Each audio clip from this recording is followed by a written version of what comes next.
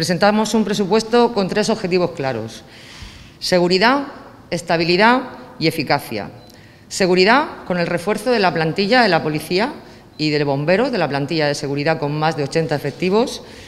Estabilidad con la reducción de la temporalidad en más de 170 plazas y eficacia con los refuerzos técnicos necesarios para mejorar los proyectos a realizar. Un presupuesto que recoge el aumento de las retribuciones del personal de un 2% anunciada por el Gobierno central, con la previsión, como he dicho, de 55 policías y 25 bomberos que reforzarán nuestra plantilla y una partida de 400.000 euros para la ejecución de la oferta pública de empleo. Por lo tanto, más seguridad y más eficacia. El capítulo de personal, que asciende a 85.975.000 euros, garantiza la incorporación de los refuerzos técnicos para garantizar, como he dicho, los proyectos y contribuir así al impulso económico tan necesario. Anunciarles que se ha cerrado en la Mesa General de Negociación la oferta de empleo público de este año, que supone un total de 39 nuevas plazas por tasa de reposición.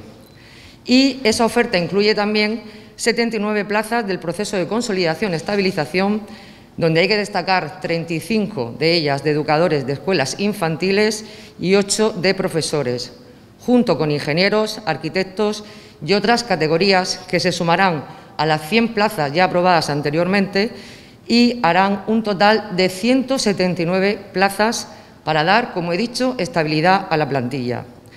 Nuestro compromiso es agilizar la realización de estos procesos selectivos junto con lo que ya están puestos en marcha, como los de bomberos, comisario principal de la policía, la promoción interna de bomberos y demás.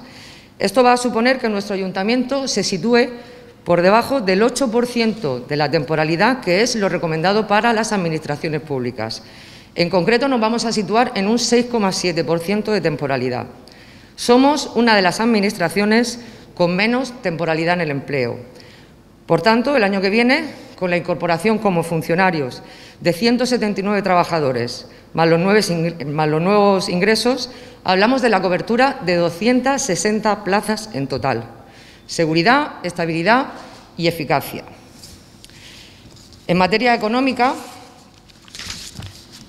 pues pasado ya un poco lo más complicado de la crisis y habiendo dado respuesta a la difícil situación, Ahora lo que toca es mirar al futuro y traemos una propuesta que debe ser el de la recuperación económica, la recuperación del empleo la actividad empresarial, cultural, social, deportiva y turística. Un presupuesto expansivo, porque expansivo es sinónimo de riqueza.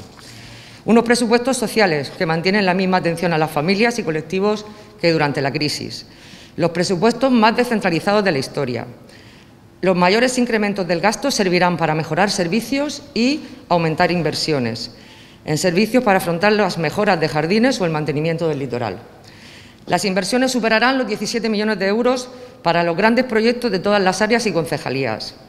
Realizar este impulso era necesario, ya que en los próximos meses nos enfrentamos a la subida del coste de la luz, la subida de los salarios de los funcionarios y la, reducción de ingresos por plusvalías cuestiones que repercuten en el presupuesto, que nos vienen impuestas y suponen 8 millones de euros.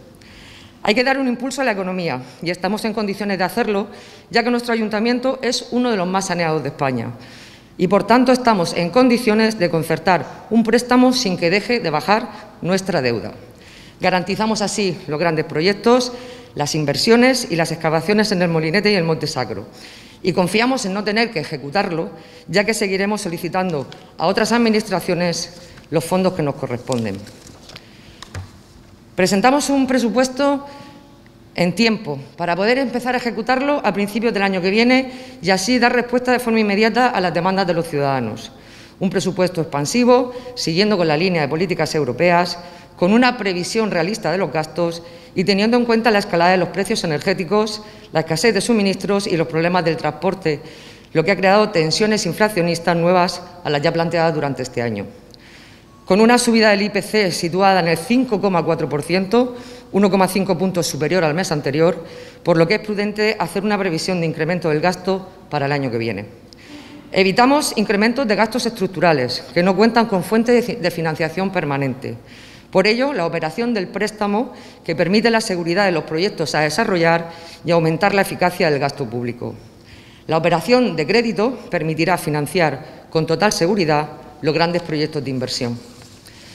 La gran capacidad de amortización del Ayuntamiento permitirá situar la deuda financiera a finales de 2022 a niveles de principios de 2021. Amortizamos 10 millones de euros al año, por lo que aseguramos las inversiones y garantizamos nuestra salud financiera. Y hemos sido prudentes porque nuestra capacidad de financiación es mucho más elevada. Adelantamos la recuperación, invertimos para la creación de empleo. Un presupuesto para impulsar, como he dicho, la recuperación económica y el empleo en Cartagena, ayudando a las empresas a salir de la crisis con la finalidad de reactivar la economía, aumentar la obra pública, bajar impuestos, la dinamización cultural, la atención a las familias y colectivos, igual que durante la pandemia, por tanto, son unos presupuestos muy sociales, los más descentralizados de la historia, donde los vecinos decidirán sobre sus recursos y con el capítulo de inversiones más alto que ha realizado nunca un ayuntamiento nuestro ayuntamiento, perdón. El presupuesto es la herramienta indispensable para dar respuesta a la ciudadanía y el Gobierno está comprometido con sus ciudadanos ja siis ei, see ära.